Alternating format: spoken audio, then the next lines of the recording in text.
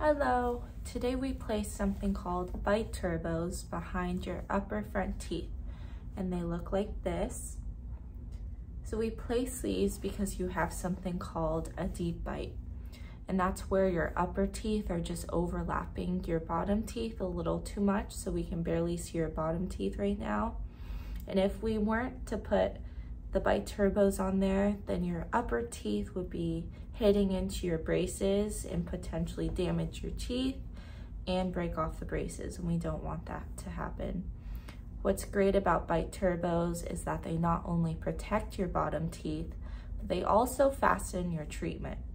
So we're able to correct your deep bite even faster with Bite Turbos, hence the name Turbo because it helps um, accelerate the treatment.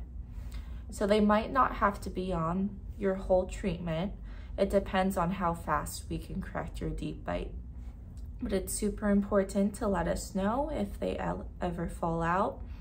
And it is gonna take a few days for your bite to adjust to them because it does prop your bite open. And so the first few days, you should probably stick with softer foods just for comfort.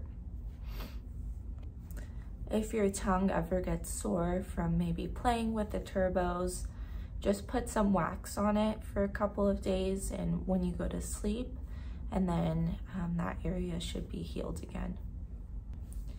Please don't hesitate to text or call us with any questions or concerns at 415-459-8006. Thank you.